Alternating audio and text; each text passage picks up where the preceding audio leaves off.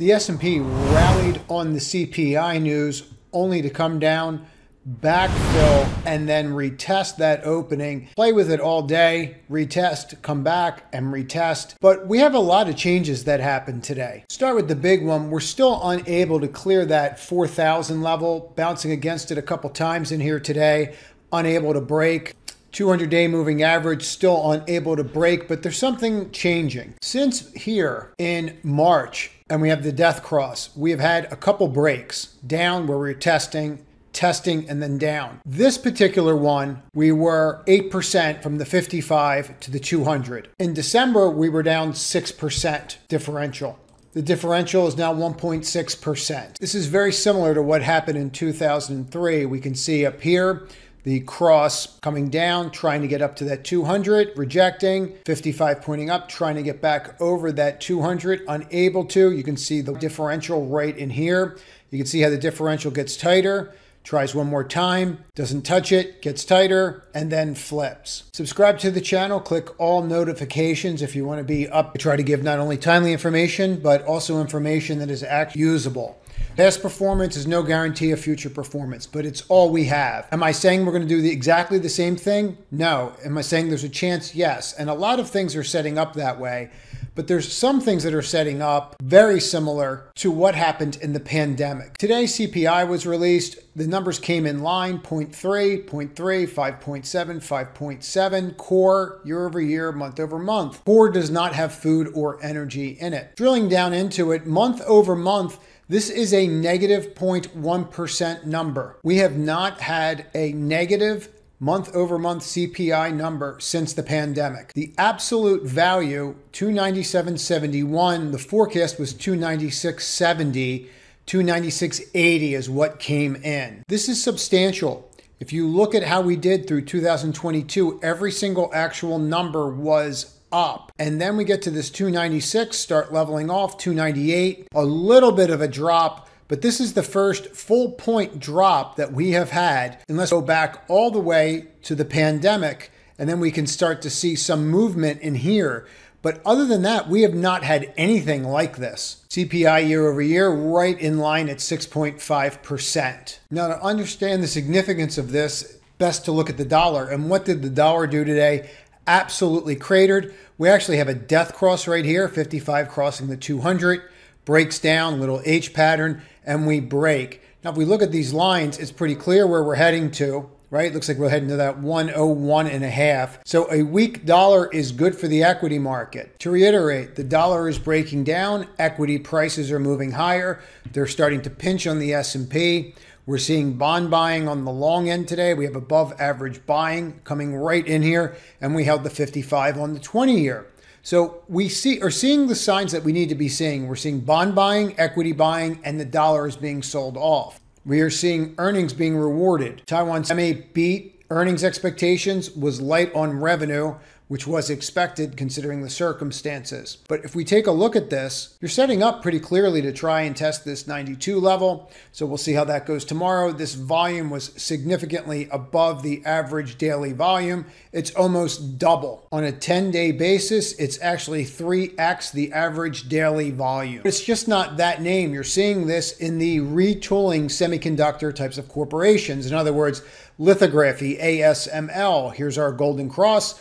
Look at the buying since the beginning of the year. We've had two red days since the beginning of the year. Every other day, constant buying. So we're wedged right in here. Golden Cross flips, makes a higher high. If we look at companies like KLAC, we can see another Golden Cross, and we can see we're at the high end of the daily. Looking at this on a monthly, and it just shows the scope of the move. Now, if you look at the SOX, we have not closed above this particular level, the 200 SMA, for about 10 months back here in March. Tried again and we failed. Again, note the width of these and now look how that differential has gotten tighter and tighter after it was wider. If we compare the SOX to 2003, we can see the death cross up here. We can see the attempt at the 200. We can note the differential in the size the previous attempt and failure. This gets closer on the differential. Obviously, it gets tighter, flips, and goes. Eerily similar to what we have dealt with before. Again, This is all we have to go on. What happened in the past, and this situation is very similar to what we had in 2001, 2002. In your comments, I get asked a lot of questions about trades that we did. So I'm just going to point one out. You can see this drop, this precipitous drop on the 15 minute. And then all we did was come down here and fill in that gap. Once that gap was filled in, we have this doji. We flipped the doji, giving us the opportunity of a morning star. Eventually, we got there. It took us a while, but we got there. But you can see the move, you can see the flip, and then you just basically are just scaling out on the way up. And we did okay with that one very similar with the S&P. So off the open, all you're doing is just allowing the market to set up and then going from there on this five minute chart, you could see this doji. Dojis are indecision. That doji made a decision and it broke here, came down, have another doji, one, two, three, higher high, right? We all know this pattern. Flips that doji and right in here presented a really nice buying opportunity for this to then trade its way up. So they were suggestions that I put out there today. The reason I'm bringing them up is I don't think this is over. Now, no again, no one has any idea whether or not it is over. But when you start looking at this and you start understanding how tight things are getting in here, and we look at the sectors and we can drill into these sectors and we see broad diversification in these sectors. I believe it's something like 5 of the top indexes right now have golden crosses that really does not construe a, a, weak market. I'll show you one other thing that really is very glaring that the possible bottom is in. Again, we don't know. We can only go on the past. But if you look at these levels, we're holding. Now, for example, in the newsletter, Caterpillar, we're up $10 on the trade. Boeing, we're up almost $20 in the trade. In this environment, that is what industrials do. They pull out this kind of money you have to understand where you are in the economic cycle and why tech is a great trading vehicle.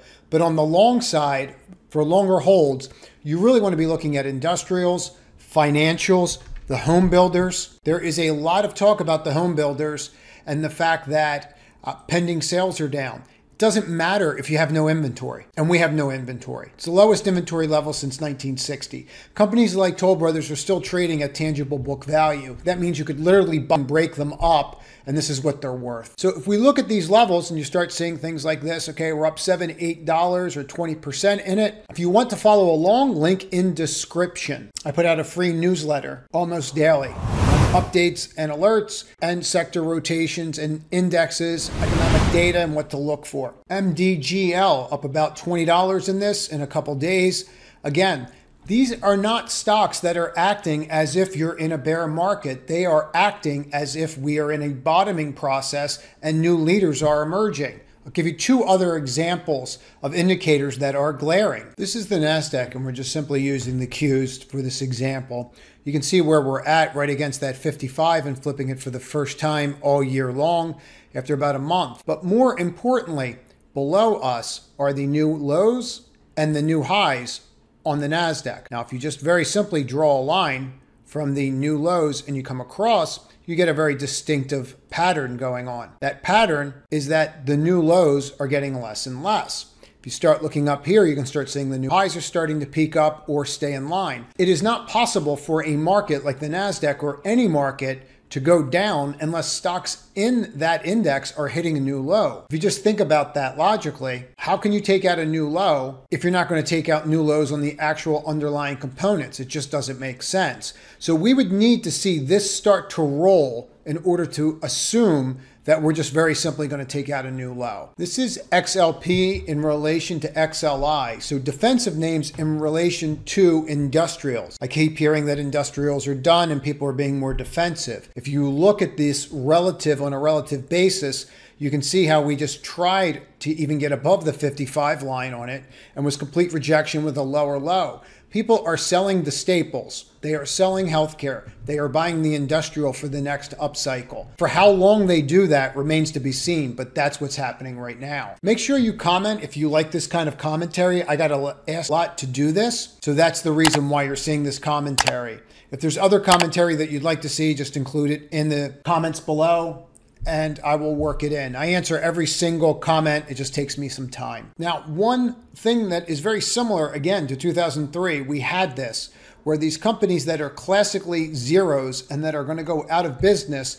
start to rally.